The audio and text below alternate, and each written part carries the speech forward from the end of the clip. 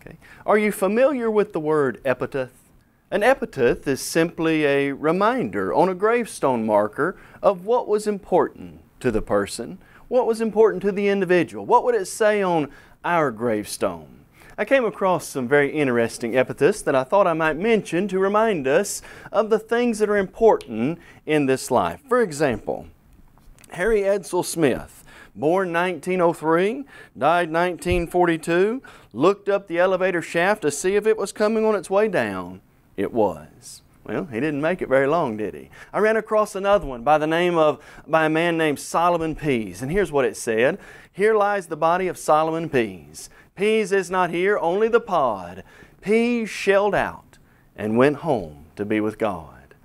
Pretty interesting idea of the way that man looked at life and the way he felt about God and his relationship.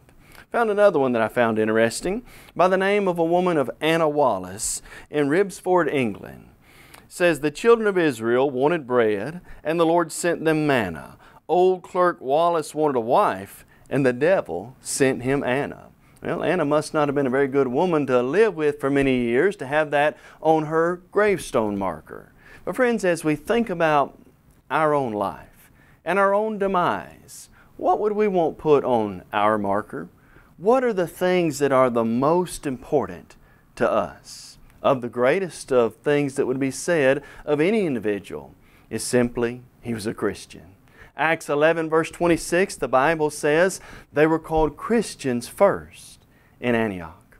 Would it be said of us that we were a, a loving husband and loving father, that we raised up our children in the nurture and admonition of the Lord? Ephesians 6, verse 4.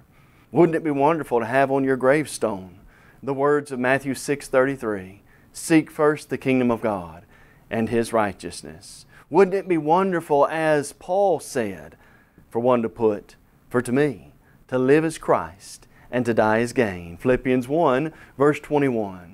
These things remind us of the brevity of life. They remind us of what's really important in this life. And so may each of us consider what are our priorities? And on the day of our demise, what would we have put on our marker?